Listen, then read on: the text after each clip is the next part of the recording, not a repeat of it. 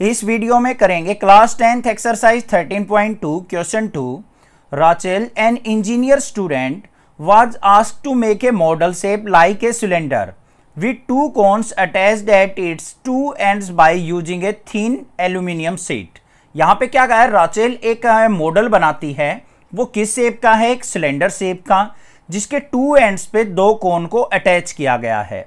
The diameter of the model is three centimetre अगर model का complete diameter three centimetre है and its length is twelve centimetre और पूरे model की length twelve centimetre है if each cone has a height of two centimetre और जो left और राइट दो कोन अटैच किए गए हैं, उनकी हाइट टू सेंटीमीटर हो find the volume of air content in the model that Rachel made तो राचेल द्वारा बनाए गए मॉडल के अंदर कितनी एयर आ सकती है? मतलब उसका वॉल्यूम फाइंड आउट करना है।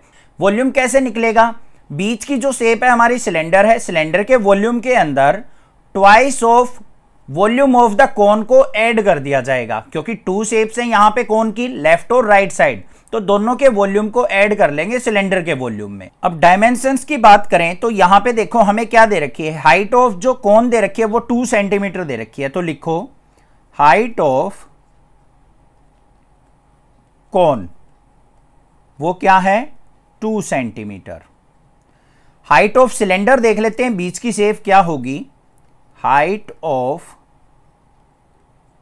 cylinder equal to total length जो दे रखी है हमें मॉडल की वो क्या दे रखी है? 12 सेंटीमीटर लेफ़्ट साइड से 2 सेंटीमीटर सब्ट्रैक्ट हो जाएगा और राइट right साइड से भी हमारा क्या हो जाएगा? 2 सेंटीमीटर सब्ट्रैक्ट तो 12 माइनस फोर क्या आ गया? 8 सेंटीमीटर तो लेंथ ऑफ़ सिलेंडर या फिर हाइट ऑफ़ सिलेंडर क्या आ गई मेरे पास एट सेंटीमीटर अब रेडियस की बात कर लेते हैं.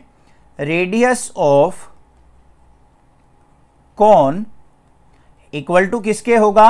Radius of cylinder radius of cylinder किसके इक्वल होगा? ध्यान से देखो डायमीटर हमें कितना दे रखा है? थ्री सेंटीमीटर तो थ्री का हाफ़ करेंगे तो क्या हो गया? थ्री बाय टू सेंटीमीटर आ गया मेरे पास।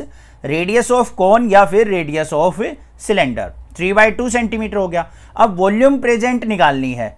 तो वॉल्यूम देखो यहाँ पे। वॉल्यूम ऑफ़ एयर प्रेजेंट क्या होगी? सबसे पहले volume of cylinder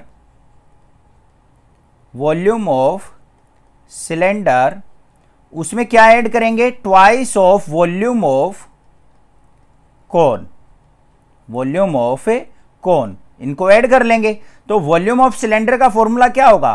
pi r square h और प्लस में twice of volume of cone का फॉर्मूला क्या होगा? One by three pi r square h one इसको एच वन मान लेते हैं यहाँ पे हाइट कौन की? क्योंकि डिफ्रेंशिएट करना ज़रूरी है दोनों की हाइट को।